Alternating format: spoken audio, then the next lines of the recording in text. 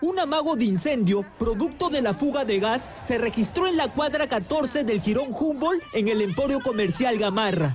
Vendedores informales de comida no midieron el peligro de su actividad y ocasionaron que las personas entren en pánico.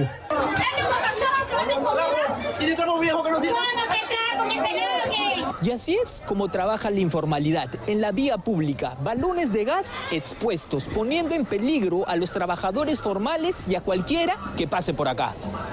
Los eso de las comidas es muy este peligroso y además la basura también y los por decir este se ponen a un costado, pero ya cuando vienen los clientes sacan toda la banca, se invaden todos los pasadizos, todo nos incomoda y a nosotros este francamente hasta nos da miedo ir decirles que, que se pongan en orden. Los formales denuncian que las autoridades se hacen de la vista gorda ante la presencia de la informalidad.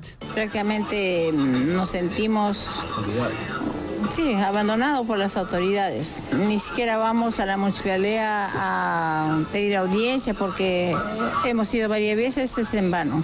En sí perjudica porque la misma gente se asusta y ya no entran para acá para realizar sus compras. No peor aún que ahora es campaña prácticamente. Nos perjudica acá en sí, a lo, como dicen, a los formales perjudica bastante.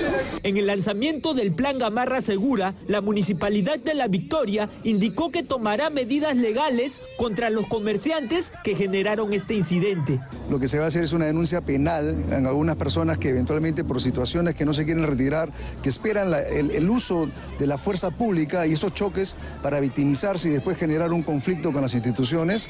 Vamos a generar que la, la Fiscalía de Prevención del Delito tome nota para ir erradicando a estas personas, que son más o menos un grupo que se ha identificado. Asimismo, en el marco de la campaña navideña, el coronel José Manuel Álvarez sostuvo que desplegarán más de 530 policías en el emporio comercial.